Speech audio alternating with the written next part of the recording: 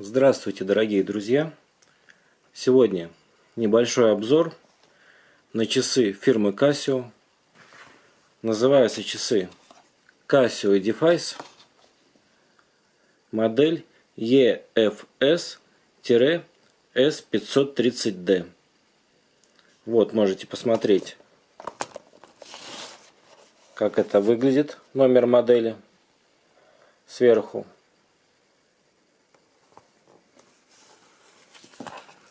Это кварцевые часы. Они очень симпатичные. Сверху у них сапфировое стекло.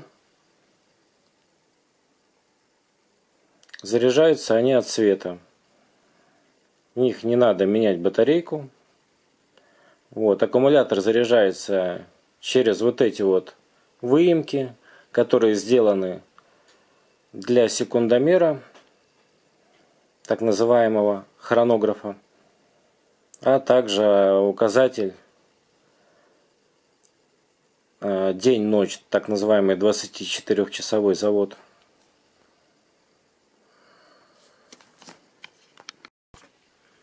Если верить паспорту техническим характеристикам, то сейчас я вам покажу. Точность хода у них плюс-минус 20 секунд в месяц у этих часов. Модуль 5529. Ну а теперь по поводу точности непосредственно самого этого экземпляра. Они вот сейчас, я их последний раз ставил больше, чем месяц назад. И они ходят секунда в секунду с абсолютной точностью. А в год они у меня примерно уходят на плюс или минус 3 секунды всего. Это за год. Это вот фактическая точность этих часов, которые я вам сейчас показываю. Может быть, мне, конечно, очень повезло с часами, но они намного точнее, чем заявлено в паспорте.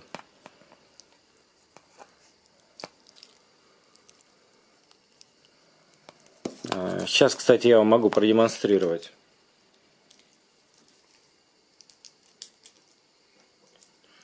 Вот у меня часы, которые автоматически выставляются по интернету в свое время.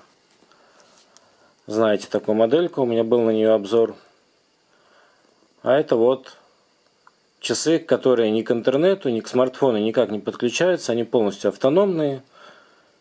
Но тем не менее, видите, по секундной стрелке точность абсолютно совпадает с часами, которые вот этой ночью были синхронизированы.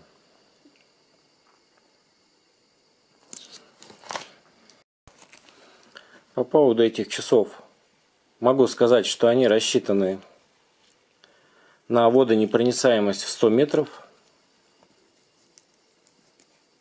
С аквалангом в них нырять как бы не рекомендуется, но вы можете в них спокойно купаться, они не промокнут.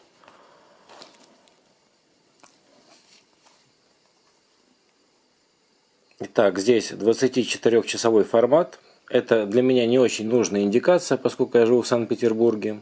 И даже белые ночи, они все-таки отличаются от белых дней. Вот. Если бы я жил где-то за полярным кругом, ну, например, в Мурманске, возможно, там бы эта функция была полезна, чтобы понимать все-таки вечер сейчас или утро. Если ты там заснул днем, потом проснулся и не понимаешь, сколько время. Но опять же, сейчас у всех телефоны, это было актуально там лет 10 назад, когда еще не были распространены смартфоны, сотовые телефоны, и действительно было непонятно, сколько времени, смотрели, только по часам ориентировались. Также здесь есть 10-минутный секундомер. Вот он отмеряется. Давайте его сейчас, кстати, включим.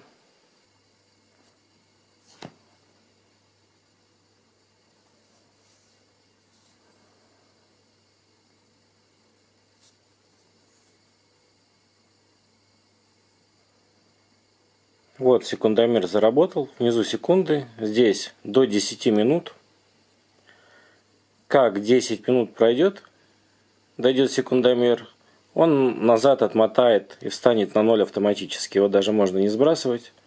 Кстати, на самом деле это очень удобно, а, поскольку 10-минутный интервал а, как выяснилось, самый популярный. У меня, по крайней мере, оказался. Вот, я ничего такого особого не засекаю долгое время. А вот что-то по-быстрому, там макароны поставил варить, пельмени, яйца те же самые, там в смятку или вкрутую, да, там 10 минут, значит, они уж точно вкрутую сварились. Ну и таких очень много вещей. Парковки все в Питере имеют 10-минутный бесплатный интервал. Дальше за них уже платить надо, если секундомер отматывать начал, как вы на парковку заехали. Ну, будьте готовы, идете к паркомату, платите денежку и выезжаете. Вот. Э, так что это круто на самом деле, что 10-минутный секундомер. Здесь есть также индикация даты. Дату надо переводить раз в два месяца. То есть, если в месяце 30 дней, то на следующий день будет первое число, а часы будут показывать, естественно, 31. То есть, здесь обычный календарь стандартный. Вот. И несмотря на то, что они ходят очень точно, раз в месяц, вот видите, кстати, сейчас число не совпадает, потому что уже больше месяца прошло, дату я не подводил. Надо на один оборот головку выдвинуть, ну вернее на один щелчок, и подправить число, перевести его вперед на один день, когда будет месяц кончаться. Вот. И мне очень не нравится, я считаю это большим недостатком, что здесь нет индикации дня недели. Я вот все-таки для себя понял, что мне это было важно на часах. К сожалению, именно по этой причине, скорее всего, я их редко ношу. Вот. Они у меня, конечно, как новые из-за этого выглядят. Но, в принципе, здесь стекло поцарапать невозможно, его можно только разбить. Еще раз говорю, здесь сапфир стоит. Хоть они и недорогие, они около 100 долларов стоят. А, ну, грубо говоря, чуть подороже. Стоят они 10 тысяч рублей сейчас на сегодняшний момент. Вот. А, при этом, опять же, заряд от цвета и сапфир. То есть и очень точно ходят. Цена вполне адекватная, считаю, за 10 тысяч такие часы. Опять же, не боятся воды. Можете посмотреть, как выглядит обратная сторона у них.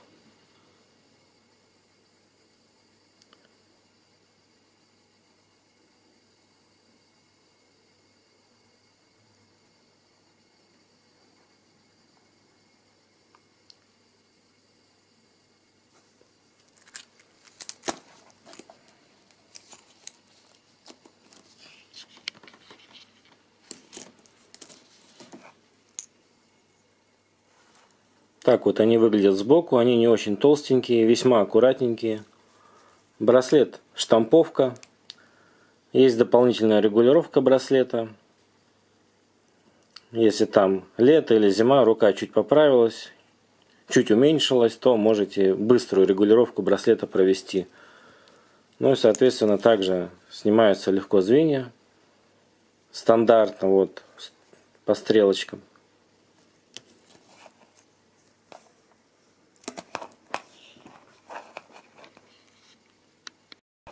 У этих часов очень классный люминофор. Они хорошо достаточно светятся в темноте. Я не скажу, что они, конечно, всю ночь светятся, но достаточно прикольно. Я вот не знаю, получится ли вам сейчас это показать, но попробую свет выключить. И несмотря на то, что сейчас день в комнате, я надеюсь, вы увидите их свечение. Но видно, да, что они светятся немного. Это даже днем видно, то есть Представляете, как это в темноте все видно? Ну, к сожалению, фотоаппарат еще мне плохо в темноте снимает. Но тем не менее. На руке часы выглядят вот таким вот образом. У меня запястье 18 сантиметров. Вполне адекватно. Они не сильно легкие, но и не тяжелые. Обычные стандартные металлические часы. Я даже не знаю, как вам это передать. Вот эти вот часы наверное, в три раза тяжелее. То есть, ну, в принципе, да, достаточно легкие часы, хоть и полностью металлические, но тяжелее, естественно, чем в пластмассе.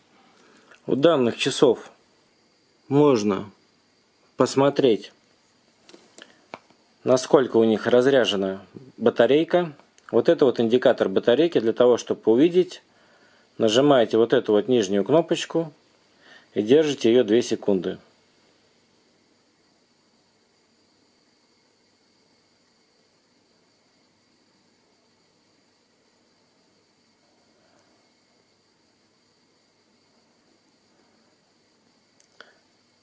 Вот так вот сбрасывается секундомер.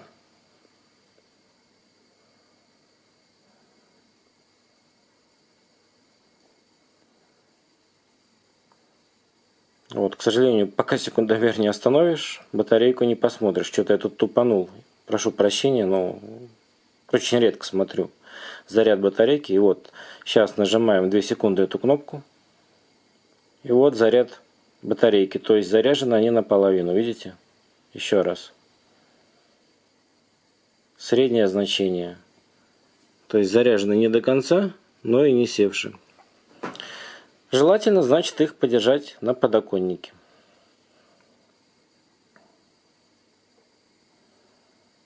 Ну, по поводу... Сейчас как раз зима. Понятно, что они подсели. На самом деле у них не так надолго хватает аккумулятора, в отличие вот от этих часов. То есть в темноте они могут проработать примерно полгода. Ну, грубо говоря, да, зиму могут пережить, но весной их уже надо заряжать. Эти часы могут год спокойно без света быть. Не такая мощная здесь батарейка, плюс все время все-таки секундная стрелка движется.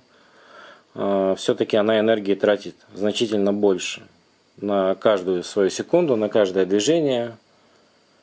При этом, если батарейка будет низкая, почти севшая, то эта стрелочка будет не одну секунду перемещаться, а через 2 секунды прыгать, чтобы вы обратили внимание и положили их на свет для заряда. Сейчас скажу вам по инструкции. Вообще, я думаю, полезная информация будет для всех, у кого часы соляр – заряжаются от солнца, даже не обязательно Casio, а, сколько им нужно заряда в день, э, сколько им нужно заряда до полной зарядки. Это примерно на самом деле на всех часах одинаково. Вот небольшая инструкция. То есть прямой солнечный свет. Ежедневно подзаряжаться желательно 6 минут –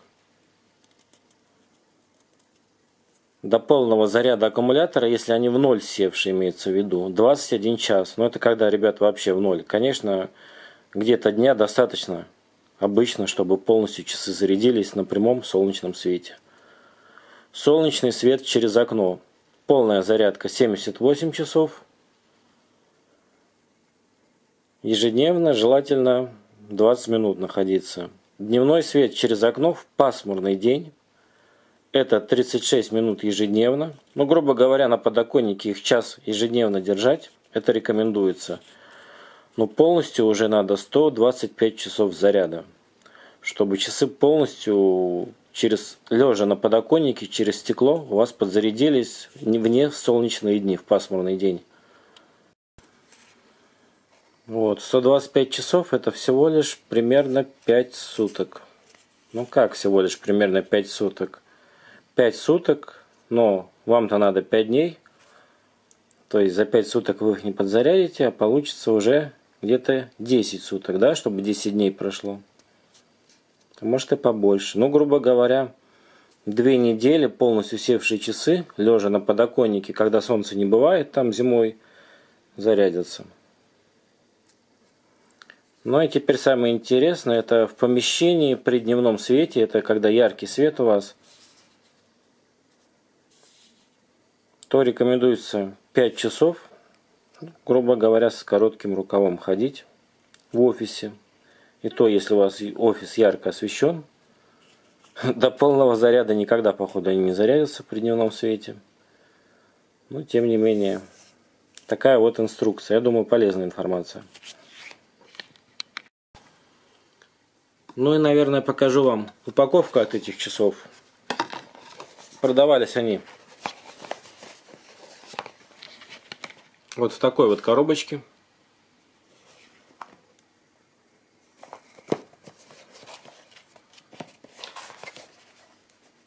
Сверху на эту коробочку одевается вот такая вот коробочка. Внутри этой коробочки всякие документы, всякая макулатура, подушечка, на которой они были одеты. Ну, тут дополнительные звенья браслета лежат. В общем, ничего примечательного. Вот обычная коробка. И сверху на нее вот так вот еще надевается вот эта вот коробка. Ну и в конце обзора мое итоговое мнение об этих часах. Часы красивые, ходят очень точно. Если бы еще была индикация дня недели, но это я сам виноват, что выбрал без этой индикации. Обычно в кружочке еще пишется там вместо того же 24-часового формата дни недели бывает, да, там нарисованы какие. Тут цены бы им не было. Так, к сожалению, ну, мне не хватает индикации. Вот. Ну, также, если бы у них была связь с телефоном, я даже не знаю, насколько она нужна, поскольку часы действительно очень точно ходят безо всякого телефона. Но если бы была еще связь со смартфоном, то не нужно было бы дату переставлять. Вот единственный, пожалуй, такой нюанс. Но почему-то такие часы Casio, которые связываются с телефоном Bluetooth, они стоят уже не 10 тысяч, а 25, например, а то и 30. И при этом, при всем, все остальное то же самое, они еще, заразы, вставляют обычное стекло. Не сапфировое, а обычное, самое простое стекло ставят. Почему? Мне вообще непонятно. Как издевательство. То есть ты берешь часы в два раза дороже, только чтобы там дату не переводить, да, через месяц. Но при этом получаешь не сапфир. А это не есть хорошо. Вот. Такие вот часики. Ставьте лайки, подписывайтесь на канал. Мне будет приятно. А вам не трудно. Пока-пока.